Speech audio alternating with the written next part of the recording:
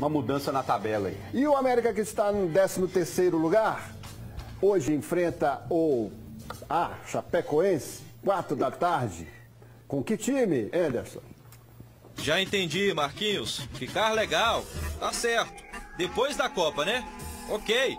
Mas para chegar lá dessa forma, então, nada melhor do que vencer a Chapecoense no último jogo antes da pausa no calendário. Temos que ganhar, né? A gente tá encarando como uma final, né? Como nós encaramos todos os jogos. Então, é um jogo dentro de casa e a gente tem que se impor lá e fazer o resultado.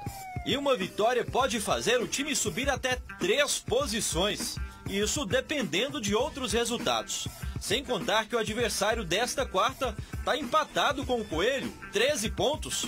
Ou seja, em campo no Independência, o famoso jogo de 6 pontos. Passar pela Chapecoense nesta quarta-feira ainda pode significar uma marca histórica para o América.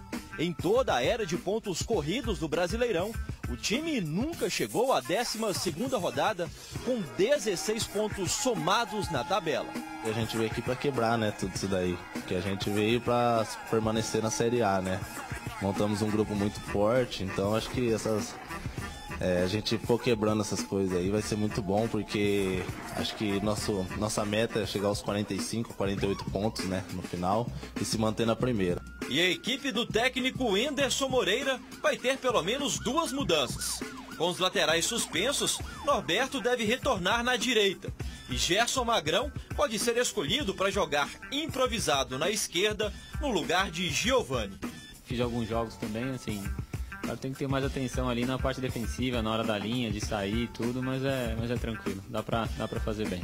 Então, até lá, Marquinhos, no jogo e depois da Copa.